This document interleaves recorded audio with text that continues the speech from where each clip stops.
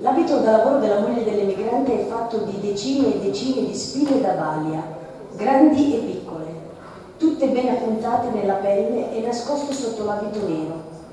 Ogni spilla regge qualcosa. Una il ritratto dei genitori lasciati per sempre quando partì per andare con il marito al di là dell'oceano.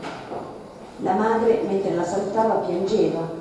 Il padre la guardava con uno sguardo intenso, senza parole e senza lacrime, perché si sa, agli uomini non è concesso. A un'altra spilla è appesa la foto di lei bambina con in braccio il fratellino di pochi anni, grande quasi quanto lei, ritratti sui gradini di una casa bianca di sole e nera d'ombra, una casa di paese semplice, povera, ma che era la sua casa. Poi c'è la spilla su cui sono annodati piccoli riccioli di capelli, sono di sua sorella, che non l'ha seguita, anche perché qualcuno che badasse agli anziani genitori doveva pur restare.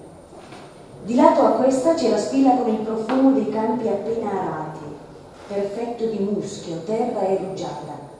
E così via.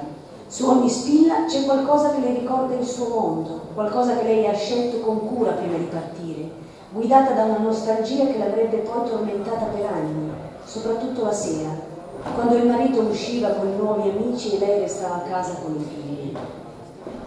Ma con il tempo anche le spille con il loro carico di emozioni iniziano a risecchirsi, piano piano, inavvertitamente, come accade d'autunno con le foglie, lente e quasi silenziose, una a una cadono. E alla fine sul corpo della moglie dell'emigrante restano soltanto piccole cicatrici che però a volte, quando il pensiero torna indietro nel tempo, distillano ricordi di minuscole lacrime.